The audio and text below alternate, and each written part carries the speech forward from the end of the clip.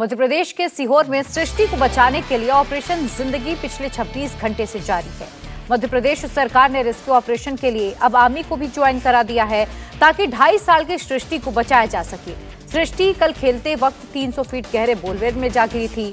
कहा यह जा रहा है कि सृष्टि अब 100 फीट की गहराई पर जा पहुँची है। पहले वो 30 फीट की गहराई में थी, चूँकि रेस्क्यू में बड़ी चट्टाने होने की वजह से काफ़ी दिक्कतें आ रही हैं और जैसे जैसे चट्टान तोड़ी जा रही है वैसे वैसे सृष्टि नीचे खिसकती जा रही है।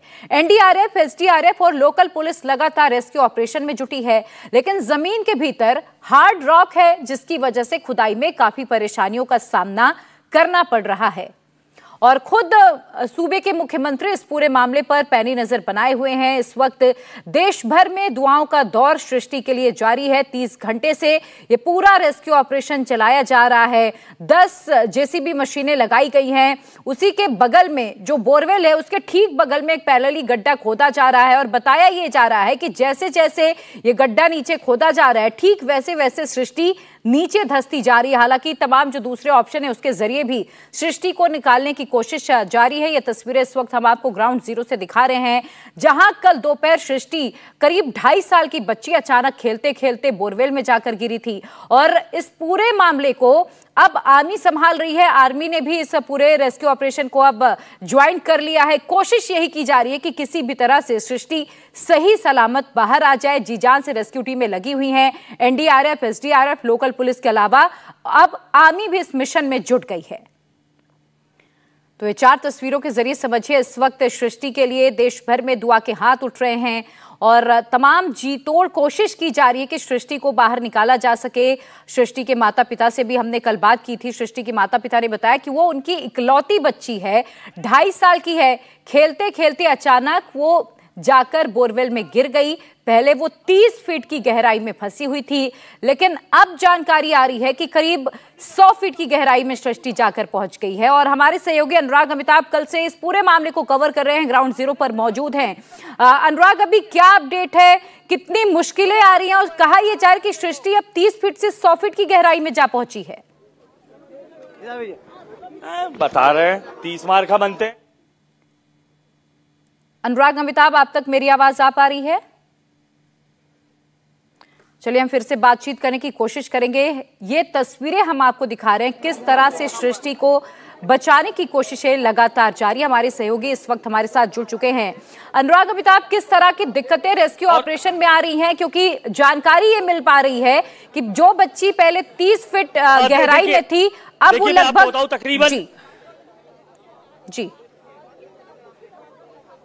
देखिए तकरीबन जो 26 घंटों की जो मेहनत थी जो कल से लगातार दोपहर दो, दो बजे से जो जद्दोजहद चली आ रही थी मासूम षष्ठी को बचाने की वो कामयाब होते दिखाई दे रही है। तस्वीरें अगर आप देखेंगे तो इस वक्त ये एंबुलेंस खड़ी गए है और इसे पूरी तरीके से कवर अप कर दिया गया है। वो एरिया जहाँ से षष्ठी को निकाला जाना है अगर आपको दिखाऊँ तो ये वही एरिया है जहाँ के बोरवेल में वो फंसी थी। और अगर आप सामने देखें तो ये आर्मी की टीम आपको दिखाई दे रही है। दरअसल आर्मी को जब लगातार लगातार 24 घंटे का वक्त हो गया, उसके बाद आर्मी को यहाँ पर बुलाया गया और आर्मी के आते ही साथ जो पुराने, जो पुराना जो तरीका था, उसी के सहारे ये जो षष्टि है, वो निकलने वाली, अगर आप दूर देखेंगे, वो बोरवेल के ऊपर का हिस्सा, एक लंबा सरिया सा आपको दिखाई दे रहा है। दरअसल ये वो कन्वेंशनल मेथड थी, जिसके सहारे ये जो हुक है, इस हुक को नीचे भेजा गया, जो बताया जा रहा था तकरीबन 100 फीट ऊपर, जो जो 100 फीट नीचे षष्ठी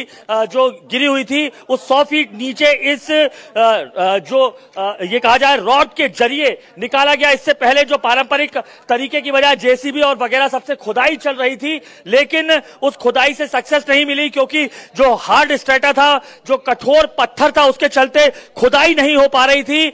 बच्ची कंपन के कारण 40 से लेकर 100 फीट तक नीचे पहुँच गई थी, जिसके बाद ये कोशिश की गई और कोशिश करने के बाद कन्वेंशनल तरीका अपनाया गया कन्वेंशनल तरीका अपनाने में आप ये देखें, अभी भी आपको दिखाई दे रहा, आर्मी आई, आर्मी ने तीन घंटे में जज किया, तमाम संसाधनों से चेक किया कि किस तरीके से जो मासूम सृष्टि है उसको निकाला जाए, क्योंकि लंबा वक्त हो गया था 26 घंटे हो गए थे, मासूम जो सृष्टि है, तीन साल की, वो बिना खाना पीना खाए हुए अपने माता पिता के प्रेम के बिना वो लगातार इस जो बोरवेल है, उसमें थी, ऐसे में बड़ा लंबा समय गुजर चुका था, आर्मी ने आते ही साथ ढाई घंटे के अंदर तमाम संसाधनों के साथ चेक किया कि किस तरीके से निकाला जाएगा। एक तरीका जो राइट हैंड साइड पर आप देख रहे हैं जेसीबी और पोकलैंड से खुदाई का था, लेकिन वो लगातार कल से चल रहा था। हार्ड स्टेटर कठोर पत्थर आ जाने के चलते खुदाई हो नहीं पा रही थी। तीस फीट तक ही पहुँचा था ये पोकलेन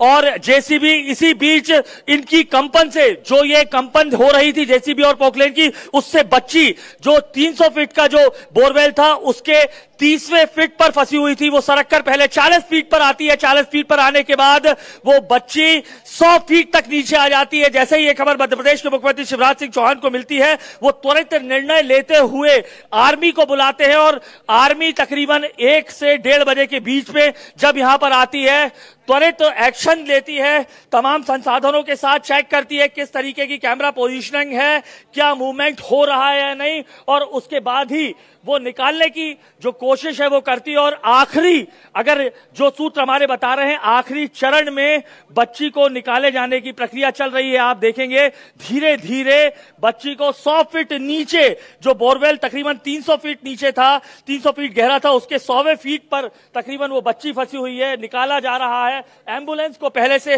लेकर यहाँ पर बुलवा लिया गया है।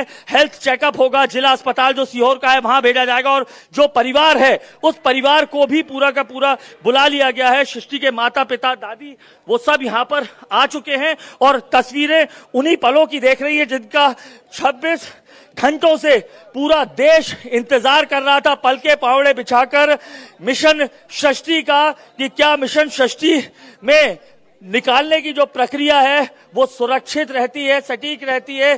क्या बच्ची अच्छे से निकल पाती है या नहीं ये सवाल अब भी समय के गर्त में है गर्भ में है क्योंकि निकाले जाने की प्रक्रिया तस्वीरों में आप देखेंगे तो आपको दिखाई दे रही है जो बिल्कुल बिल्कुल अनुराग अमिताभ एक कैमरा भी डाला गया था ताकि बच्ची को पूरी तरह से मॉनिटर किया जा सके सके और ऑक्सीजन सप्लाई भी लगातार बच्ची तक पहुंचाई जा रही थी ताकि किसी तरह की दिक्कतें ना आए। आप नज़र बनाकर रखिए। इंडिया टीवी हर वक्त हर जगह। डाउनलोड करने के लिए सर्च करें India TV news Google Play Store या एप स्टोर पर।